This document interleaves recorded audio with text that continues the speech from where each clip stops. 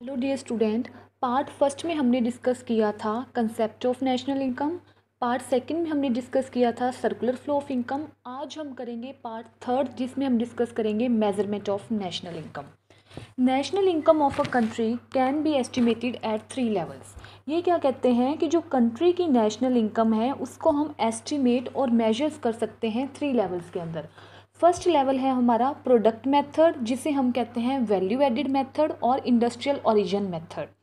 Second है बच्चों income method और distribution level method and third is expenditure method. Initially initially मतलब सबसे पहले नेशनल इनकम के मेज़रमेंट का कंसेप्ट किसने सुजेस्ट किया था? सबसे पहले measurement of national income concept किसने सुजेस्ट किया था? शुपिटर ने इन 1917 शुपिटर ने कहा था कि नेशनल इनकम को हम थ्री लेवल के अंदर मेजर कर सकते हैं। After Schumpeter in 1935 MC Mitchell and Simon Kuznets सबसे पहले बच्चों दिया था मेज़रमेंट ऑफ़ नेशनल इनकम का कंसेप्ट शुपिटर ने इन 1917 में। आफ्टर शुपिटर 1935 में MC Mitchell and Simon Kuznets ने सुजेस्ट किया था measurement of national income at three levels in USA after MC Mitchell and Simon Kuznets 1941 के अंदर सुजेस्ट किया था मीड एंड स्टोन ने यूके के अंदर. सबसे पहले सुजेस्ट किया था बच्चों शुपिटर ने. आफ्टर शुपिटर किया था मिटकल एंड साइमन कुजनट ने यूएसए में. After Mitchell and Simon Kuznets किया था मीड एंड स्टोन ने यूके के अंदर.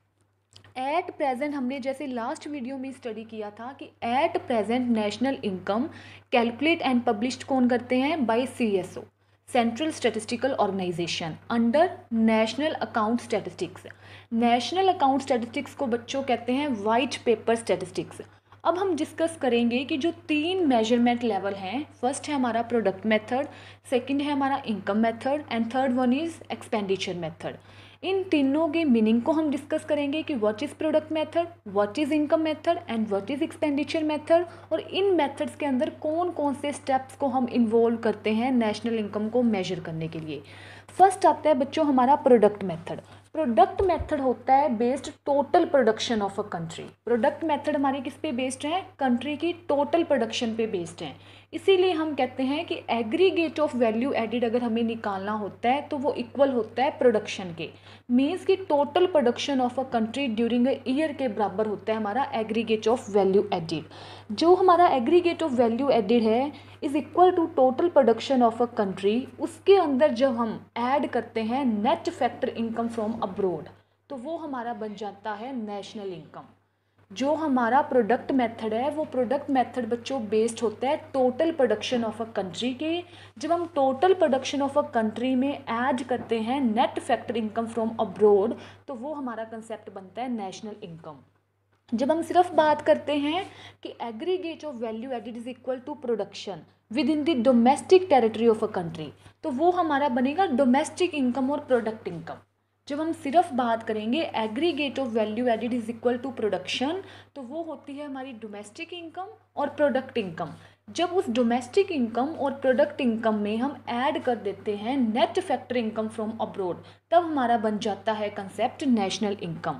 ये होता है हमारा प्रोडक्ट मेथड अब कौन कौन से स्टेप इन्वॉल्व करते हैं हम प्रोडक्ट मेथड के अंदर नेशनल इनकम को मेजर करने के लिए? फ़र्स्ट स्टेप आता है बच्चों, हमारा identification and classification of productive enterprises जो हमारा स्टेप फ़र्स्ट है प्रोडक्ट मेथड का, वो स्टेप फ़र्स्ट है identification and classification of productive enterprises जो हम ऑलरेडी लास्ट वीडियो के अंदर डिस्कस कर चुके हैं, जिसके अंदर हमारे तीन सेक्टर्स आते हैं। फ़र्स्ट सेक्टर आता है primary sector second is secondary sector and third one is territory sector ये आते हैं हमारे identification and classification of productive enterprises में। तीन सेक्टर आएँगे बच्चों primary sector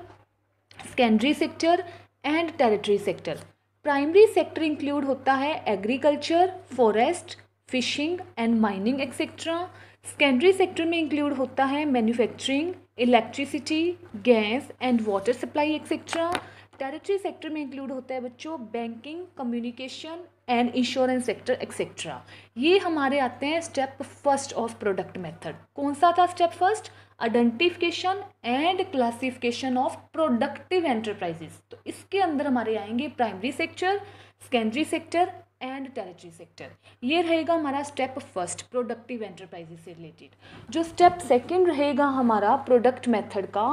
वो स्टेप सेकंड है हमारा एस्टिमेशन ऑफ़ वैल्यू एडिड देखो बच्चों स्टेप सेकंड का नेम ही क्या है? एस्टिमेशन ऑफ़ वैल्यू एडिड बात क्या हो रही है? वैल्यू एडिड तो स्टेप सेकंड के नेम से ही क्लियर हो रहा है कि एस्टिमेशन ऑफ़ वैल्यू एडिड तो पहले हमें पता होना चाहिए कि what is value added value added क्या होता है? Value added is equal to value of output minus intermediate consumption जो वैल्यू एडिड होता है, वो हमारा डिफरेंस होता है वैल्यू ऑफ़ आउटपुट का और इंटरमीडिएट कंजम्पशन का। तो जैसे मैंने बताया कि स्टेप सेकंड है estimation of value added estimation of value added के नेम से ही क्लियर हो गया कि व्हाट इज़ वैल्यू एडिड अब हमने वैल्यू एडिड स्टडी कर लिया कि वैल्यू एडिड होता है value of output minus intermediate consumption ये हो गया हमारा वैल्यू एडिड और देखो वैल्यू एडिड हमारे दो चीज़ों के बराबर है। एक है वैल्यू ऑफ़ आउटपुट माइनस एक है इंटरमीडिएट कंजम्पशन तो यहाँ से हमारा सेकेंड क्वेश्चन अराइज हो गया। पहला क्वेश्चन हमारा हो गया था स्टेप सेकंड के नेम से। एस्टिमेशन ऑफ़ वैल्यू एडिड से ही क्वेश्चन राइज हो गया व्हाट इज़ वैल्यू एडिड जब हमने पढ़ा कि वैल्यू एडिड होता है value of output minus intermediate consumption तो यहाँ से हमारे दो क्वेश्चन राइज हो गए बच्चों। एक हो गया वैल्यू ऑफ़ आउटपुट क्या होएगा? एक हो गया इंटरमीडिएट कंजम्पशन क्या होएगा? जब हमें ये डिस्कस करेंगे कि वैल्यू ऑफ़ आउटपुट क्या है और इंटरमीडिएट कंजम्पशन क्या है, तभी हम बता सकते हैं कि व्हाट इज़ वैल्यू एडिड तो अब हम डिस्कस करेंगे value of output value of output में दो चीज़ें आएगी. फ़र्स्ट आएगा सोल्ड ड्यूरिंग द ईयर और दूसरा कंसेप्ट आएगा अनसोल्ड ड्यूरिंग द ईयर जब हमारा वैल्यू ऑफ़ आउटपुट इक्वल होएगा सेल्स के तो वो होएगा हमारा if entire output of the year is sold during the year जब वैल्यू ऑफ़ आउटपुट सेल्स के बराबर होएगा तो वो होएगा सोल्ड ड्यूरिंग द ईयर और जब हमारा value of output sale plus closing stock के बराबर होएगा तो वो होएगा unsold during the year then next step आएगा इंटरमीडिएट कंजम्पशन इंटरमीडिएट कंजम्पशन होता है बच्चों value of non factor input non factor input means all input other than factor input intermediate consumption होता है बच्चों value of non factor input non factor inputs mean all input other than factor input for example land labour capital and entrepreneurship ये हो गया हमारा intermediate consumption तो देखो step second था हमारा एस्टिमेशन ऑफ़ वैल्यू एडिड पहले हमने डिस्कस कर लिया कि व्हाट इज़ वैल्यू एडिड वो हमारा हो गया value of output minus intermediate consumption वहीं से हमारे दो क्वेश्चन राइज हो गए कि वैल्यू ऑफ़ आउटपुट क्या होएगा? वो भी हमने डिस्कस कर लिया कि अगर केस होता है सोल्ड ड्यूरिंग द ईयर तो value of output is equal to sale और अगर केस होता है अनसोल्ड ड्यूरिंग द ईयर तो value of output is equal to sale plus closing stock दो केसेस आ गए हमारे वैल्यू ऑफ़ आउटपुट के। थर्ड हमने डिस्कस कर लिया बच्चों व्हाट इज़ इंटरमीडिएट कंजम्पशन जो होता है non factor input means all input other than factor input ये तीन चीज़ें हमारी आ गई एस्टिमेशन ऑफ़ वैल्यू एडिड में. First one is value added second one is value of output जिसमें दो केस थे and third one is intermediate consumption जो लास्ट आएगा हमारा एस्टिमेशन ऑफ़ वैल्यू एडिड में बच्चों, वो आएगा what is change in stock change in stock को हम डिनोट करते हैं डेल्टा